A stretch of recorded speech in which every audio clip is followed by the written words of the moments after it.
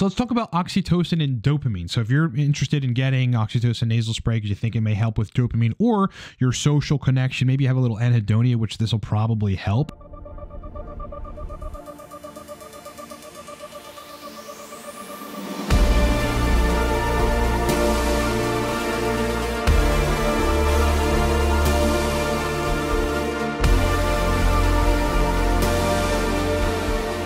What's up, everybody? It's your boy Ryan, and this is the Thunder Channel on nootropics, on TRT, on biohacking, and on male performance. Please subscribe to the channel because, hey, bro, I know you're gonna love the content, so just hit the sub button now. And hey, bro, you either owe me a like or you don't owe me a like, okay? And it'll depend on if you get this right. So pick now, heads or tails, or we're gonna flip this thing. Pick it, pick it, pick it. Let's go. All right, it landed on tails. Look, if you pick tails, you're good to go. You can proceed forward to the rest of the video because I am the gatekeeper. But if you picked heads and you got it wrong, do the right thing, bro. You owe your boy a like. Who are we? We are Cortex Labs, and we're predominantly a male performance company that specializes in globally shipped nootropic stacks. The most popular of them is the Torque stack, which is down in the description of this video. I am a consultant on nootropics, TRT, energy optimization, and I just added boner fuel, an erectile dysfunction uh, rehab recovery consultation, which you can find at livecortex.com, down where all the consultations are and the menu. So uh, let's talk about oxytocin nasal spray. Got some oxytocin nasal spray. I've actually had this on repeat for quite some time, and I do use this stuff. It's uh, pretty interesting. Now, as you might imagine, and as you may have heard, oxytocin and what it does if you ingest it intranasally is it kind of turns on a sort of uh, bonding, like almost seemingly maternal. Like you're probably gonna love your animals more. You're gonna be like more fatherly if you're a dude, or maternal or motherly if you're a mom. And you know, it's essentially social bonding, people bonding That that's one of the primary things that oxytocin is um, responsible for, right? If if you dose oxytocin intranasally, you're gonna feel pretty good, and you're gonna feel like more connected to the people around you, maybe even more sort of emotionally tuned in, and you may even be fucking lovey dovey, bro.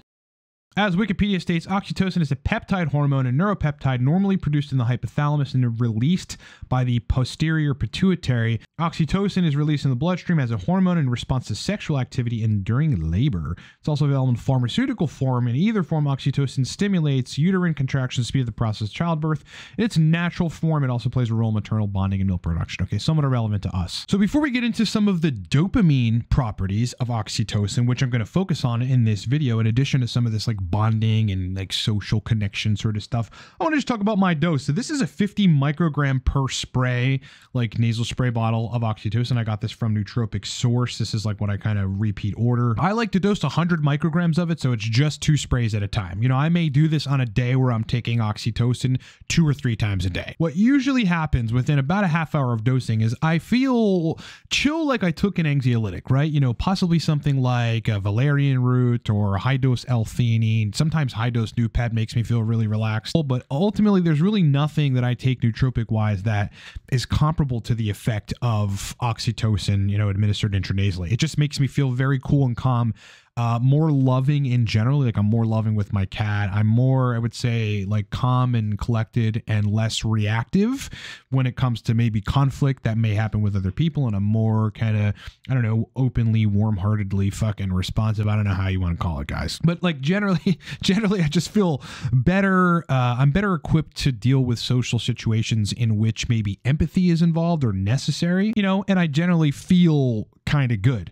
On the sexual department, it doesn't really affect me one way or the other sexually. It may make orgasms a little more intense or a little more pleasurable, but I mean, there's so many other mechanisms that, you know, are involved in that, like dopamine specifically, and also, you know, the ability for your junk to have proper signaling back to the spinal cord and like proper nerve signaling and blood flow and all that kind of stuff. So let's talk about oxytocin and dopamine. So if you're interested in getting oxytocin nasal spray because you think it may help with dopamine or your social connection, maybe you have a little anhedonia, which this will probably help. I'm going to read uh, us a section from a paper titled Oxytocin, Motivation, and the Role of Dopamine. Recent studies show activation, I'll show you where we are of oxytocin neurons thought to target the VTA, which is the ventral tegmental area. That's where a lot of your dopamine originates. Stimulates mesocortical limbic dopaminergic neurons. Oxytocin receptors and corresponding messenger RNA have been localized within the VTA. So where your dopamine is originating, there's a lot of oxytocin receptors. Now here's something really interesting. I'm going to butcher this guy's name, so I'm not going to say it. Extensive work done by name and colleagues indicates that stimulation of dopamine receptors located on the cell bodies of oxytocinergic neurons within the PVN, which is a paraventricular nucleus of the hypothalamus. It's just a part of the hypothalamus, leads to penile erection in rats. Now, this is why some people take oxytocin nasal spray and get spontaneous erections or will get sexual benefits from it, like, you know, the libido increase or the necessity to have sex or the desire to drive to have sex and also erections. Now, erections are super multifold and very complex, uh, but, you know, oxytocin plays a role. Oxytocin injected into the ventral tegmental area, which is again where you make a lot of your dopamine, induces penile erection in rats and stimulates extracellular dopamine increases within the nucleus accumbens, which receives dopaminergic projections from the VTA. So, what you're doing by ingesting oxytocin is you're doing a lot of things, but as it relates to dopamine, you may induce spontaneous erections, but at the same time, you're going to stimulate more dopamine to be around in the extracellular space, able to bind to, you know, the various D like receptor sites in places like the nucleus accumbens of your brain. Interestingly, if you give someone an oxytocin receptor antagonist, meaning something that blocks oxytocin from binding to its receptors, you diminish a dopamine agonist, which is a chemical that'll bind to dopamine receptors ability to stimulate dopamine release in particular regions of your brain again specifically the nucleus accumbens you also if you antagonize oxytocin receptors you diminish the pro-erectile effect of dopamine. So what this basically means is yeah, you're going to stimulate some dopamine release by taking oxytocin. At the same time, you're probably going to stimulate a better quality of erections, possibly spontaneous erections, possibly even libido. But again, I want to like be clear that that that is so multifold and it depends on a variety of factors, right? I mean, you know, I people on Reddit like in the erectile dysfunction uh, thing are like, man, I uh, you know, I have ED and whatever. It's like, but none of them ever mention their testosterone levels. It's like, hey, bro, like everything is connected and you have a, you know, you got to have all this stuff straight. Now, interestingly, for females, so I can't talk about, I can't speak on every female, but you know, there's a particular female that I know who have who has dosed this oxytocin nasal spray, and she says it makes her extremely horny and like vaginally sensitive. So it's increasing sensation, you know, in her female parts, and also making her very interested in sex. So probably via the dopaminergic action, maybe there's some other action happening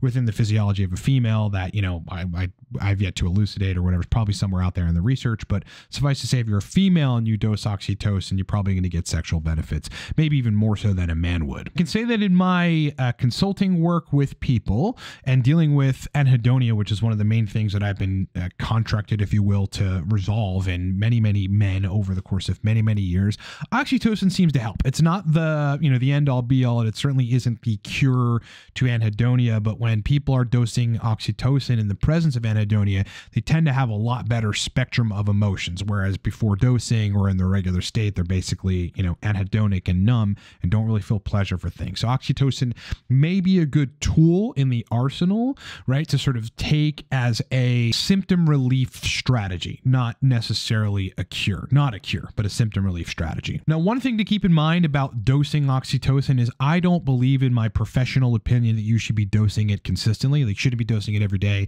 and you shouldn't make it like a regular part of your routine because what you are going to do by administering exogenous or outside of your body oxytocin is you are going to shut down your endogenous oxytocin production. There's no question about that. That's in the scientific literature. And so it's like, yeah, would your regular oxytocin bounce back after you stop dosing oxytocin? Probably, but that's just not something that I would want to mess with because oxytocin is very, very closely tied in, not only in the hypothalamus, but in the pituitary. And it, it like it has an interaction with prolactin as well, which, you know, has a, a very cl- closely tied tied relationship with dopamine. So you just want to dose the stuff sparingly. If you're going to get some intranasal oxytocin, maybe take it once, twice, three times a week or something, and then make sure you're cycling off because you don't want to completely shut down your endogenous, your internal oxytocin production, which you will definitely if you're continuously dosing oxytocin. Overall, like what I think this is, is a useful tool to get in a good mood. It's a useful tool for some guys to sort of induce that like uh, penile reflex, like you just have like normal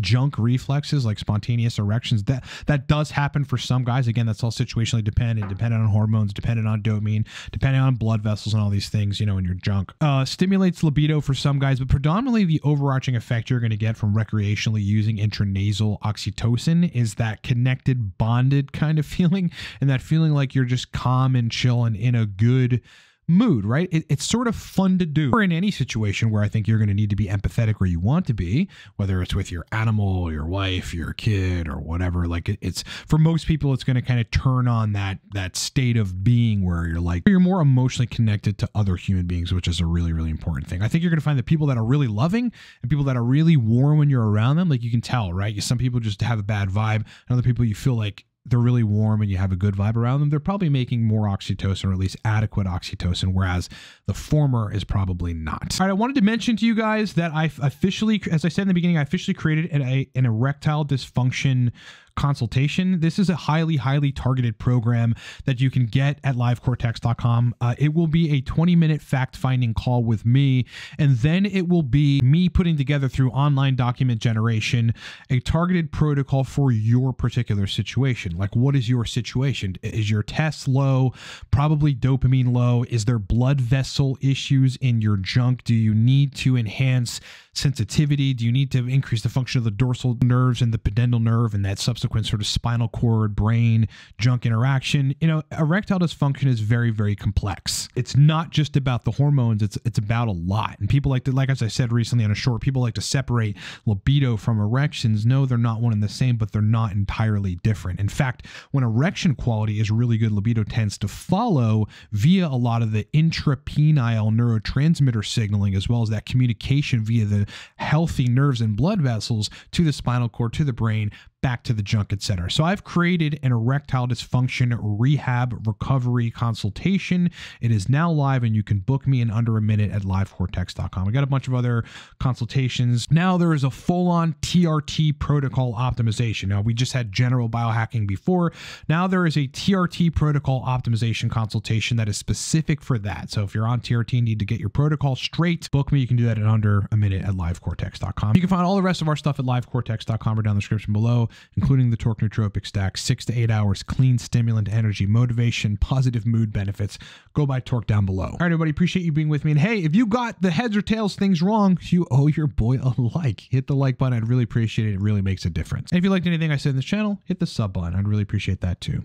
And you're going to love the channel. All right, everyone. Talk to you next time.